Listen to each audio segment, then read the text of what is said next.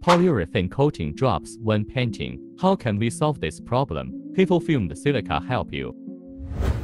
Add 1.8% of HIFULL fumed silica into a component of polyurethane coating. Disperse it. Mix it with B component coatings by proportion of 85 to 10. Fully disperse. Prepare another polyurethane coating sample without adding HIFULL fumed silica for our comparison experiment.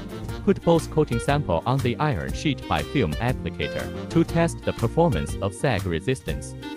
The sample of two-component polyurethane coating added HIFULL fumed silica has a much better performance than the other sample.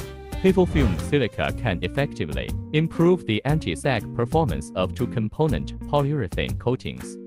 HIFULL manufactures more than 10 grades of fumed silica for your choice. Contact us.